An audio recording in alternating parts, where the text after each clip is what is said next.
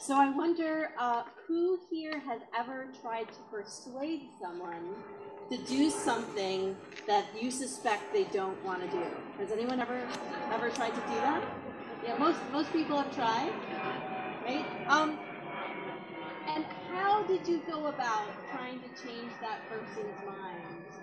Uh, what were your, what were your methods? Any any idea, Andrew? Distraction. You you flew an airplane over that. no. Yes, distraction might be might be one strategy. What are some other strategies? Bribery, right? You offer something in return for what you're asking for. Raising your voice, being louder, more emphatic. Yeah. Mm-hmm. Ron. Ooh, facts.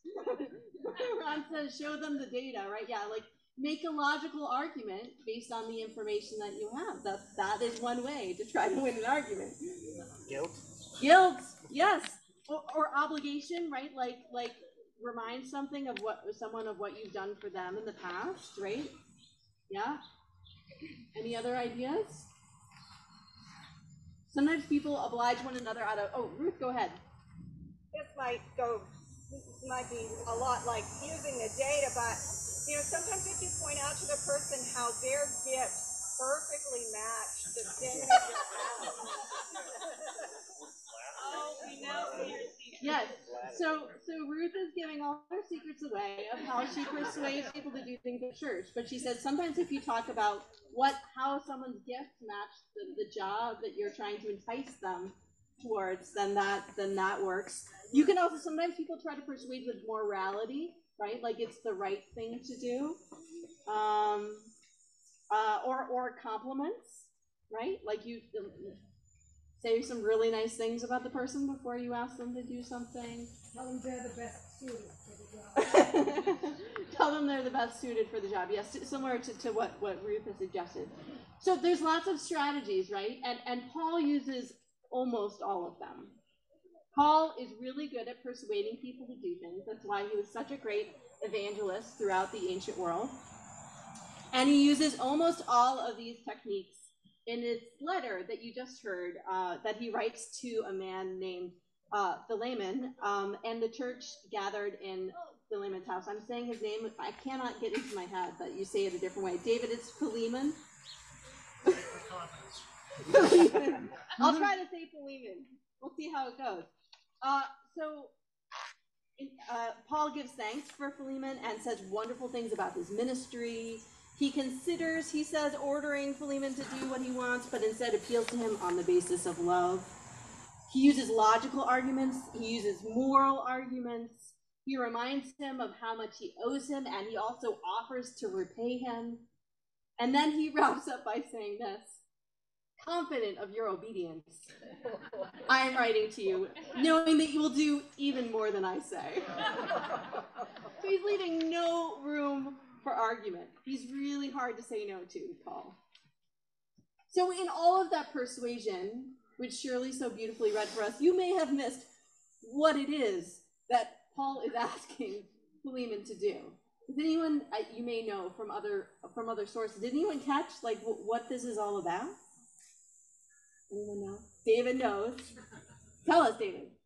He wants the uh, wants Onesimus to accept his former slave who ran away back as a brother.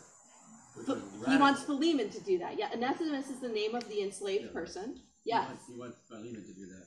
But, and that was radical. Was Yes. radical in the first Yes. century. You did not ever do that.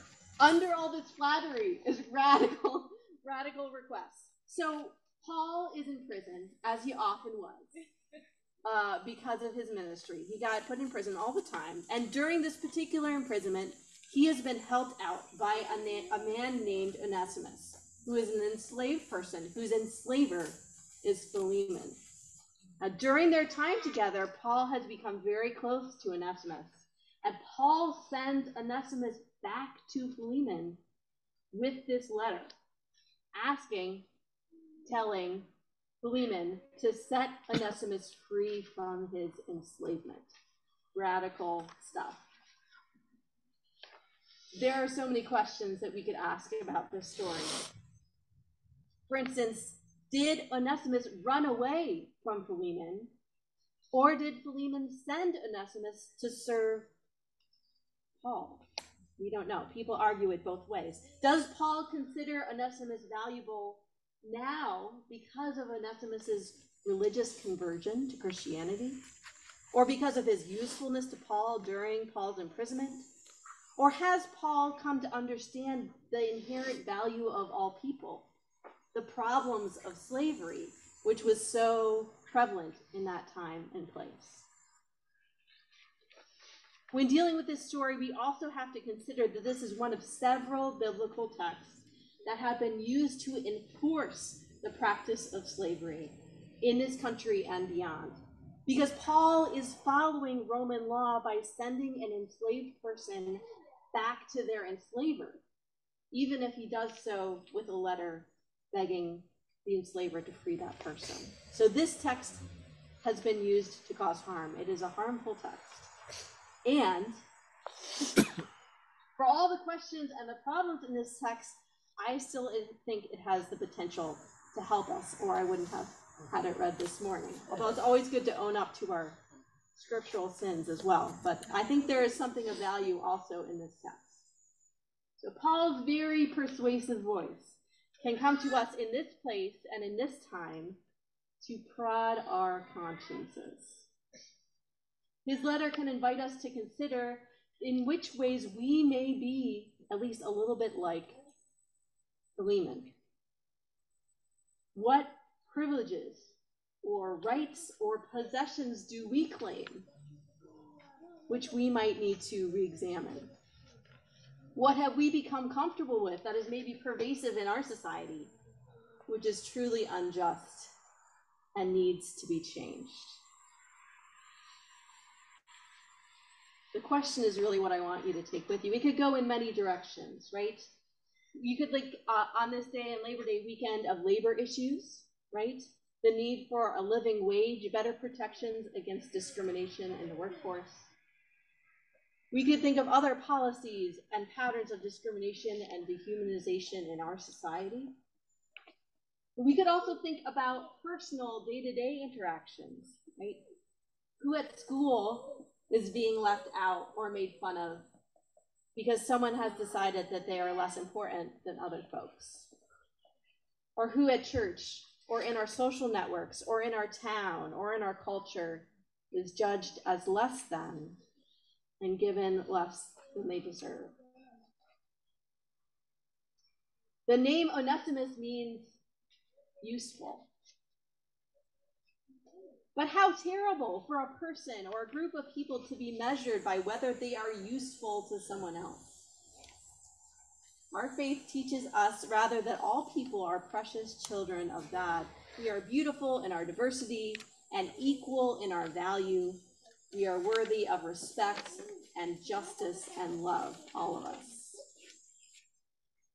So, how can we each be converted as Paul was, and as we hope that Philemon was as well when he received this letter, to recognize that every other person has fundamental worth? What are the next steps towards a more inclusive way of life for us as individuals and as a church? Please pray with me. Holy God, from our birth we have been taught in words spoken and in ways unspoken that some folks are more valuable than others, and that it's okay to be unfair to people who aren't very important. Help us learn from you instead that we ourselves and everyone we meet are made in your own image, part of the same heart and the same family. Teach us again and again, persuade us with every method you can find until we are freed from evil ideas for the liberty of your love. Amen.